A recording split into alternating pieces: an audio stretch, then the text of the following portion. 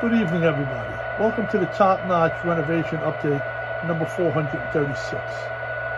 I did put a railroad crossing arm back there, and I put one here, and I put a road in with some cars. Now, let me show you how they work. We'll get that, uh, the CSX is in the back over there. We'll get that CSX going first, and we'll drop that gate in the back. I don't know if you'll see it. There she goes, dropping down. Alrighty, and now we'll get this Alaska moving off the turntable. And she'll drop this arm over here.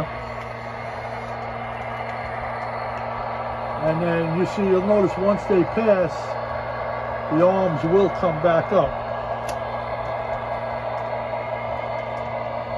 That front arm should come up now, that the Alaska just went by. And then once the juice train passes over there, you'll see that arm come back up as well.